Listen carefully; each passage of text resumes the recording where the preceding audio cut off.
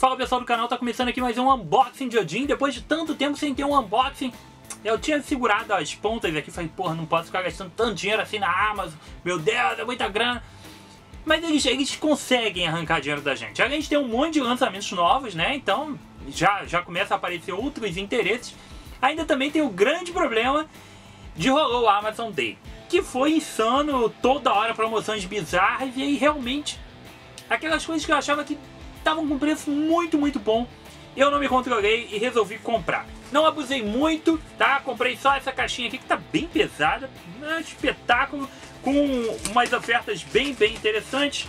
Aqui a notinha. Bom, a Amazon enviou isso aqui muito rápido, embora vocês estejam vendo o programa muito tempo depois, né, do que eu comprei. Eu comprei isso aqui no dia 10 e cheguei e recebi isso aqui no dia 13. Rapidinho, em 3 diazinhos eu recebi com frete grátis. Vamos ver o material que tem aqui dentro. Rodrigo, vai sair review? Vai, cara. Lógico que vai sair review de tudo que tiver aqui dentro. Quando?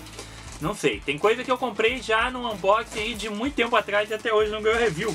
E a gente vai lendo na medida do que dá, né?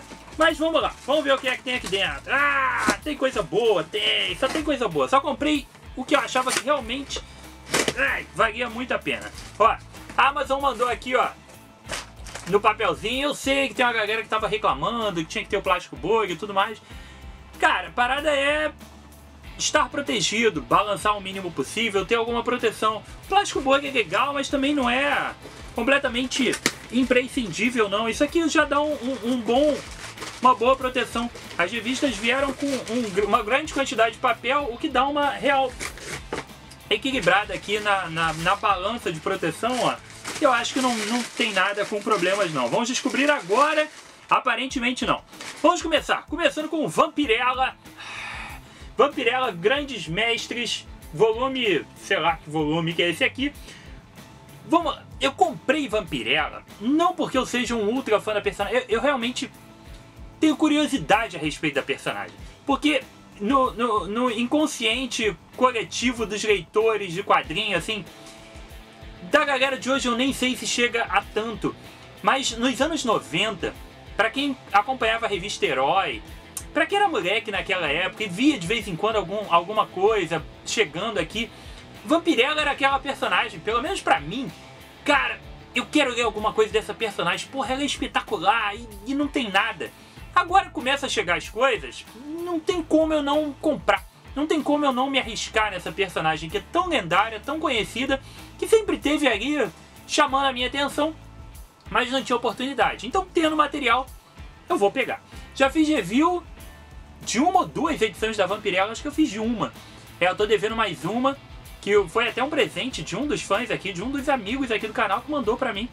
E em breve vai rolar. E aí, com esses nomes, Grant Morrison e Mark Miller, e não, é, não tinha como eu não comprar. Vampirella, Grandes Mestres. Inclusive, cara, eu vou até, vou até gravar um programa, se é que eu já não gravei, né? Que eu não sei quando esse programa vai pro ar. É, eu, eu achei uma camisa com a Vampirella na rua, eu comprei. Foi 15 reais. É, não, é, hum, provavelmente não existe nenhum licenciamento sobre a imagem daquela Vampirella. Mas eu comprei uma camisa muito legal. Comprei também, porra, esse aqui, material ah, de qualidade. Tá inteirinho, tá novinho, mais um material da editora Mitos. Dreadstar, o princípio de Jim Starlin, um senhor roteirista e desenhista de quadrinhos de ficção científica, saga cósmica da Marvel ali, Capitão Marvel, muita coisa legal. Jim Starlin é foda. Tô devendo também ler e fazer review do Dreadstar, que já tinha lançado um volume antes, e agora nesse formato bonitão o início completo da saga. Material muito bacana, que também estava com um ótimo preço. E aquilo, comprar materiais diferentes. Eu, lógico que eu queria estar tá comprando um monte de coisa da Marvel, um monte de coisa da DC, um monte deles encadernados e aquela loucura que bate na gente. Só que o gasto está muito alto, né? Tem muito quadrinho, é muita coisa. O tempo para ler não existe tanto tempo de vida para ler isso tudo. E nem espaço, a verdade é que espaço realmente já, o meu já acabou. Vai ser complicado em breve, já está complicado. Então eu comecei a filtrar, eu resolvi começar a botar alguns limites nas minhas compras, não só por questão financeira, que também é legal botar alguns limites para não enlouquecer completamente, mas alguns limites de espaço e tal. Então agora algumas coisas eu realmente vou deixar passar, assim, no. Ah, cara, isso aí eu não posso comprar porque não é tão importante assim. Então vocês vão ver que eu vou evitar de comprar certos materiais. Aqueles materiais que eu tava comprando de totalmente nova Marvel, aqueles encadernadinhos com a lombada branca, os encadernados de 952, essas coisas. Tirando um ou outro que realmente eu acho assim, ah, esse material, porra, eu tenho que ter, é muito imprescindível. É, a maioria eu, eu vou até descontinuar. Eu não vou continuar comprando X-Men, não vou continuar comprando Homem-Aranha Superior, não vou, não vou continuar comprando essas coisas. Porque não é um material tão imprescindível assim para coleção, tá? Ocupa muito espaço e nessa de, porra, a promoção tá bom, eu vou pegar esse, vou pegar esse. Vou... Daqui a pouco não tem prateleira para meter tanto capa dura, tanto peso e, e, um gasto que vai saindo além do que você imagina, porque já tem as coisas todas da banca que a gente tá pegando. Então se você focar, como eu pretendo fazer agora, tô focando, tô pegando muita coisa na banca, tô, vou focar na banca. Então, ah, os quadrinhos dos outros anos você não leu, Rodrigo? Não li. Paciência, cara. Ah, mas vai ter referências. Foda-se.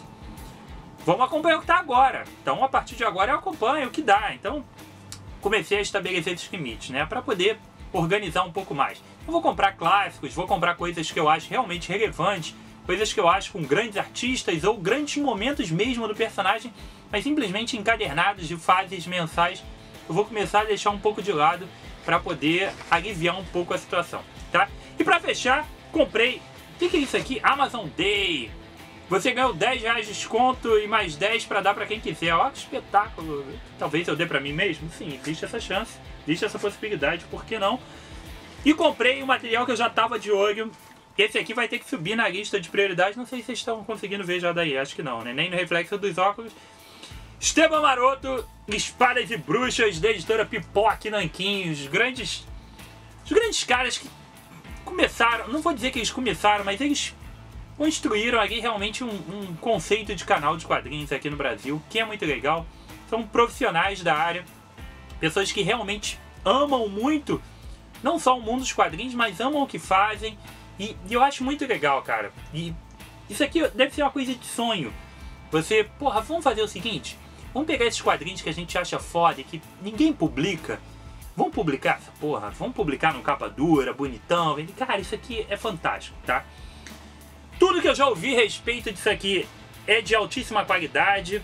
Material com acabamento incrível. Todas as imagens de arte que eu já vi disso aqui são surrealmente fodas. Isso aqui deve ser muito foda. Como tava uma promoção totalmente imperdível, eu tava esperando justamente essa promoção totalmente imperdível aparecer. Eu peguei, vou dar meu voto de, de confiança, que eu tenho certeza que isso aqui é realmente fantástico. Eu curto Conan, curto esses materiais também, então acho que isso aqui é uma jogada certíssima. E fico na expectativa também de em breve pegar o Canon e outros materiais que eles lancem. Parabéns, espero que vocês continuem lançando, espero que continuem nessa empreitada e que lancem mais coisas assim que eu realmente não conhecia e que a maioria de nós talvez não conhecesse e que sejam de altíssima qualidade. Então foi isso, comprei essas três revistinhas aqui, gastei um dinheiro da porra, meu carrinho tava com 1.500 produtos, eu fui deletando até ficar esses três que eu achei que era uma compra muito boa, com um valor justo.